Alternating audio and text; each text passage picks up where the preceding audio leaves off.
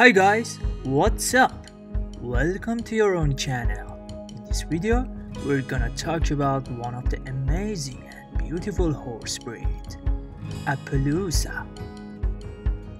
Appaloosas are known for being gentle, friendly, and loyal companions.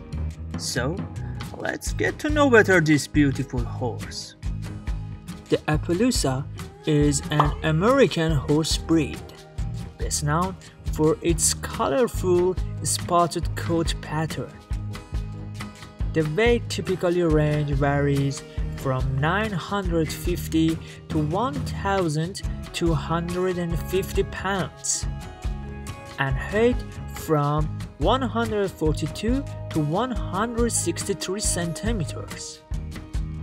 Their body type are compact, muscular build, colorful coat patterns with mottled skin. They also have striped hooves, white sclera, sparse mane and tail. This breed has an interesting history. Artwork depicting prehistoric horses with leopard spotting exist in prehistoric cave painting in Europe. In North America, the Nez people of what today is the United States Pacific Northwest developed the original American breed. Settlers once referred to these spot horses as the Palouse horse, possibly after the Palouse River which ran through the heart of the Nez Perce country. Gradually, the name evolved into the Appaloosa. The Nez lost most of their horses after the Nez War in 1877, and the breed fell into decline for several decades.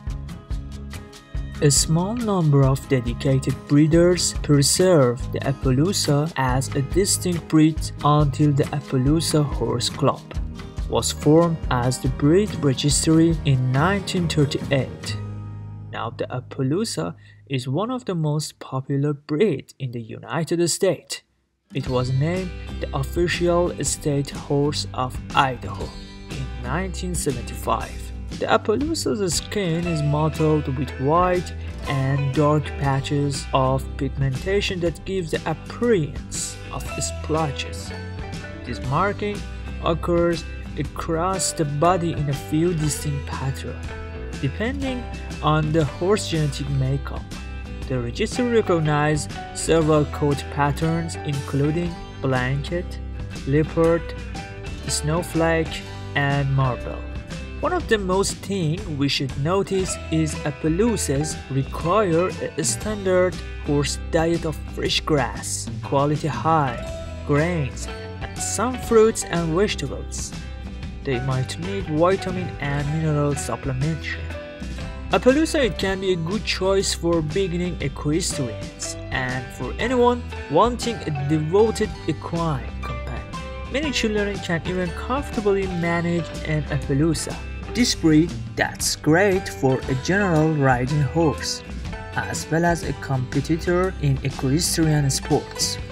Now we know better this horse and characteristics. If you like the video, please like and subscribe to channel. So, see ya until the next video.